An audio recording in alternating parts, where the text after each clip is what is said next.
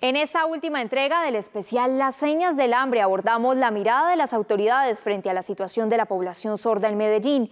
¿Qué deben hacer en medio de la pandemia? ¿Cómo serán incluidos en la sociedad? ¿Y cuáles son los proyectos que vendrán para ellos? Aquí les contamos. En medio de la pandemia que azota al mundo, la población sorda evidenció que vive en la incomunicación nosotros las personas sordas necesitamos ser incluidos, necesitamos saber qué es lo que está pasando con el coronavirus. No hay comunicación con la alcaldía y no sé cómo son los medios de comunicación con ellos, entonces es mejor buscar otro intérprete. Coinciden en que no solo se sienten aislados por culpa del coronavirus, desde hace muchos años cargan con el peso de no ser escuchados. Pero entonces, ¿qué pasa con las personas sordas que están viviendo violencia intrafamiliar? ¿Qué pasa? Por ejemplo, si él me pega a mí, yo como aviso a las autoridades, no sé cuál es el proceso a seguir. Es que aunque exista toda la normativa y aunque la rama judicial tenga todo un bloque constitucional, hay un alto porcentaje de insensibilidad. ¿Qué es lo que no hay? Voluntad.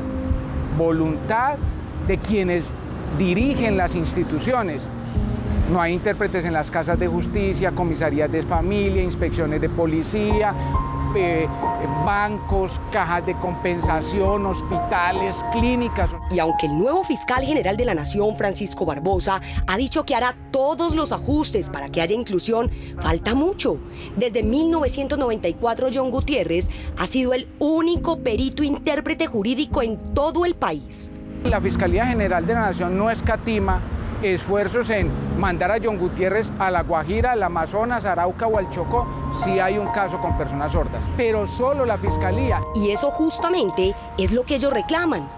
Llama al 123 y perdón, ¿yo cómo llamo al 123? ¿Cómo me comunico? La Secretaría de Inclusión Social en Medellín, desde la Unidad de Discapacidad, ha intentado caracterizar a la población, pero las cifras que tienen son inexactas. Estamos cortos, la verdad, como administración, porque eh, en nuestros registros hay 2.400 personas con esta discapacidad auditiva. Entonces somos conscientes que es un reto muy grande para esta administración.